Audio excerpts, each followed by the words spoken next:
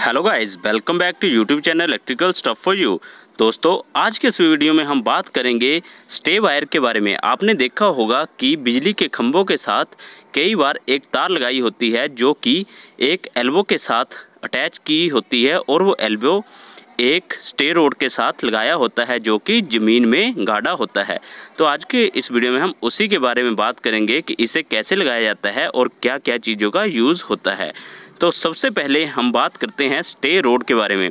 दोस्तों, जैसे कि आप देख सकते हो, ये एक स्टे रोड है और इसके नीचे एक स्टे पटड़ी बोलते हैं, ये लोहे की वार होती है। अब हम क्या करते हैं, सबसे पहले हम खड्डा निकालते हैं। जैसे कि आप देख सकते हो जो एक साढ़े चार फुट का खड्डा हमने ऑलरेडी निकाला हुआ है। अब हम क्या करेंगे, इसमें स्टे रोड को डाल देंगे। तो दोस्तों, आप देख सकते हो, हमने स्टे रोड को इस खड्डे में डाल दिया है। अब हम भारी भारी करके इसमें पत्थर डालेंगे। इसमें पत्थर इसलिए डाले जाते हैं ताकि इसकी स्ट्रेंथ बनी रहे, क्योंकि पूरे खम्बे का लोड और तारों का जो भी सैग होता है, वो इसी ने हैंडल किया होता है। इस पर सारा लोड होता है। इसलिए हम इस स्टे रोड को सारे खड्डे को स्टे रोड के सारे खड्डे को हम पत्थरों से भर देते हैं ताकि तारें और खंबा पूरी स्ट्रेंथ से खड़ा रहें। तो दोस्तों, आप देख सकते हो, अब हम इस पूरे खड्डे को इन पत्थरों से भर देंगे, फिर उसके बाद मिट्टी डालेंगे।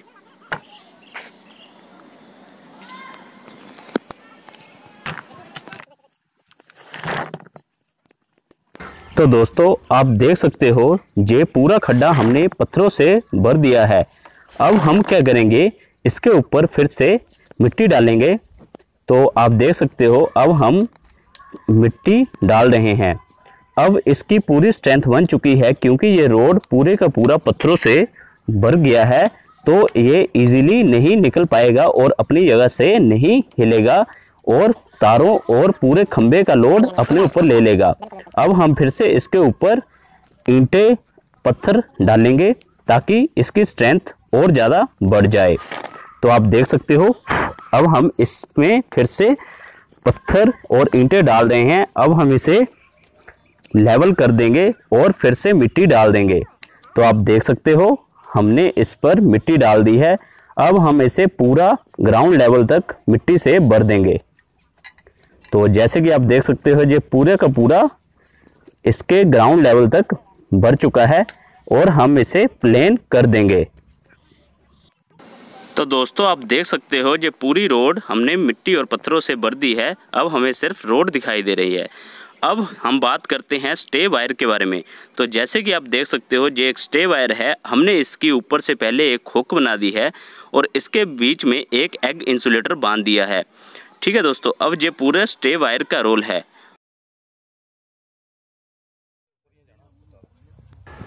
तो दोस्तों, अब हम इस रोड के ऊपर एक लोहे का एल्बो होता है, जैसे कि आप देख सकते हो, इसको अटैच कर देंगे।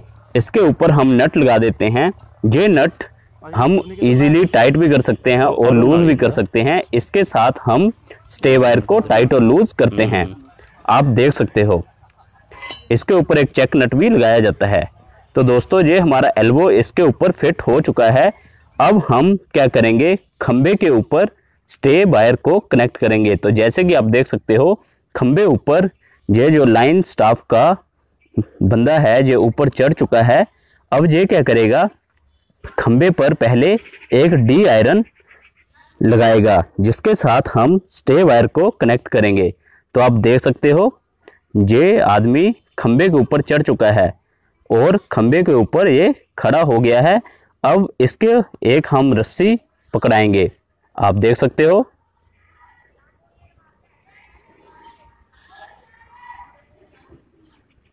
तो दोस्तों, इसने रस्सी पकड़ ली है। एक्चुअली हम रस्सी इसलिए पकड़ाते हैं ताकि कोई भी सामान खंबे के ऊपर पहुंचाना हो तो हम रस्सी से इजीली बांधकर इसे पहुँचा सकते हैं। तो दोस्तों, आप देख सकते हो, हमने रस्सी के साथ एक शक्ल इंसुलेटर और डी आयरन बाँध दिया है। अब जो ऊपर आदमी है, वो रस्सी को खींच लेगा और उसके पास ये सामान इजीली पहुँच जाएगा।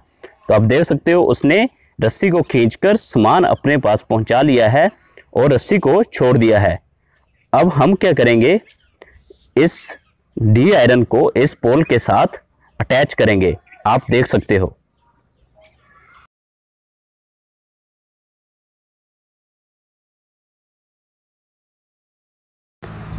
दोस्तों, अब हमने रस्सी के साथ इस स्टे वायर को बाँध दिया है, क्योंकि अब हमने स्टे वायर को ऊपर खंबे के साथ अटैच करना है।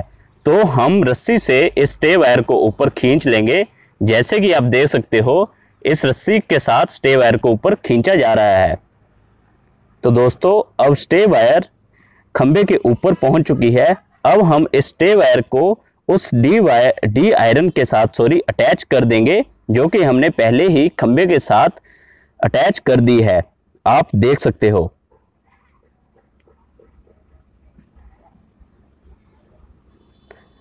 जैसे कि आप देख सकते हो, ऊपर हमने स्टे वायर को डी आयरन के साथ कनेक्ट कर दिया है और अब हम रस्सी को खोल देंगे।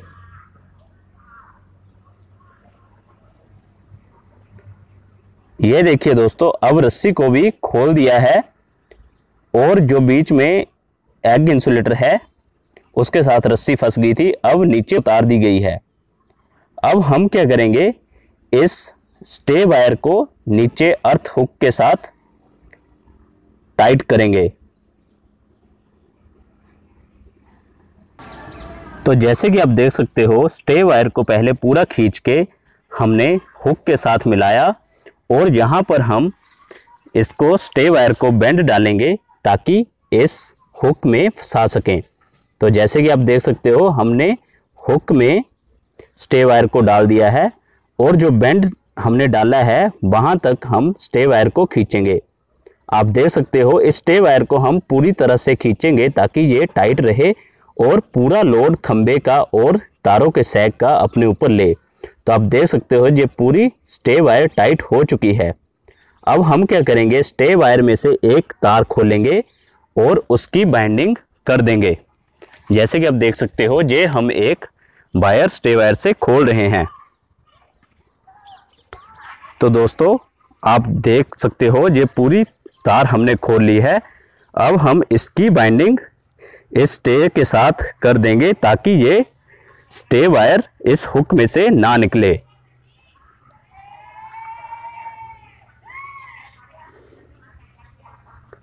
आप देख सकते हो, इसका हमने रोल बना लिया है और हम इसकी अब बाइंडिंग इस वायर के साथ कर देंगे।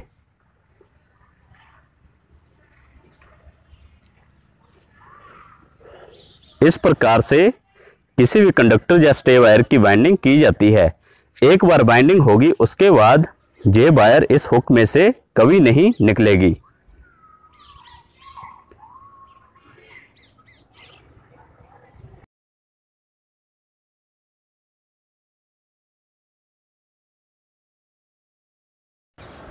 दोस्तों, अब हम क्या करेंगे?